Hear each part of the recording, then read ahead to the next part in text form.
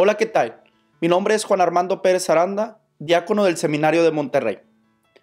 Y este domingo vamos a reflexionar sobre la solemnidad de la maternidad divina de la Virgen María. Es interesante preguntarnos qué es lo que vio Dios en María para poder elegirla como madre de su Hijo.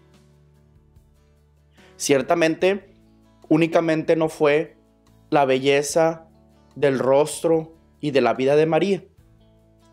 En la Sagrada Escritura nos damos cuenta que fundamentalmente son dos cosas por las que Dios llama a una persona lleno o llena de gracia. Palabras mismas que el ángel Gabriel le tributa a la Virgen María. Una de las cualidades es cumplir y llevar a cabo siempre la voluntad de Dios. Lo vemos cuando Moisés, de mandato de Dios, saca a su pueblo de Egipto. Lo vemos también cuando Dios le dice, comunica estas palabras de los mandamientos al pueblo de Israel. Entra a esta ciudad, ve por acá. Es decir, María cumplía perfectamente la voluntad de Dios. Y segundo, la confianza absoluta en el designio de Dios. Moisés, a pesar de que el pueblo era rebelde, que el pueblo era infiel, Moisés confiaba en que Dios lo había elegido para guiar a su pueblo. María, a pesar de las sorprendentes palabras del ángel, alégrate María, llena de gracia, María confía en Dios. María tiene toda su vida puesta en Dios. Hoy que celebramos que María es Madre de Dios, característica principal e importante de la Virgen María, Madre de Dios, podemos decir, María como madre de Jesucristo y madre de Dios, cumplía esencialmente el estar llena de gracia. Claro que para poder hablar de María como Madre de Dios, el ejemplo más cercano que tenemos es la relación que llevamos con nuestra mamá. Sabemos que sea tal cual sea, de donde sea, la edad que tenga, cómo me hable, nuestra mamá tiene un papel importante en nuestra vida. Y algo muy importante de ella es que sabe estar ahí.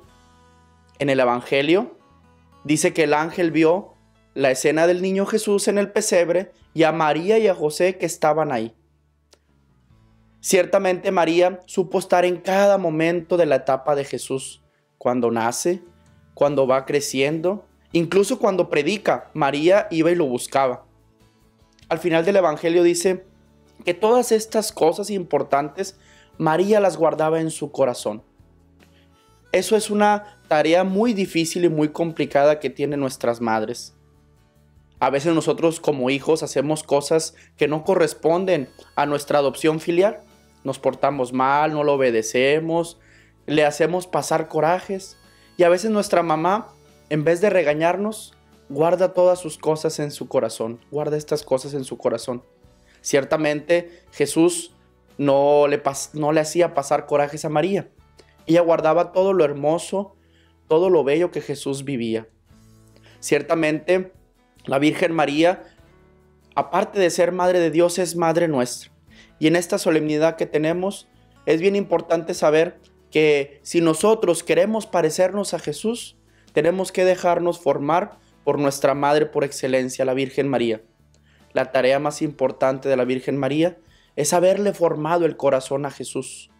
Por eso confiaba en la voluntad de Dios y confiaba plenamente en el designio de Dios. Todo esto la llevaba a poco a poco ir formando el corazón de nuestro Señor. Es importante que nosotros al festejar a María nos dejemos formar en nuestro corazón por ella, en actitudes, en cariño y en devoción. El cariño que nosotros le tenemos a nuestra Madre Santísima, la Virgen María, es porque también nos sentimos salvados por Dios. Es porque nos sentimos muy amados por nuestra mamá. La Virgen María siempre ha estado presente en estos momentos de nuestra vida. Ojalá nosotros, Dios nos conceda la gracia de poder, así como amamos a María, poder amar a nuestra Madre. Así como reconocemos en María que es Madre de Dios, nos reconozcamos también como hijos suyos. Muchas gracias y les voy a impartir mi bendición. Que el Señor esté con ustedes. y la bendición de Dios Todopoderoso, Padre, Hijo y Espíritu Santo, descienda sobre ustedes y los acompañe siempre.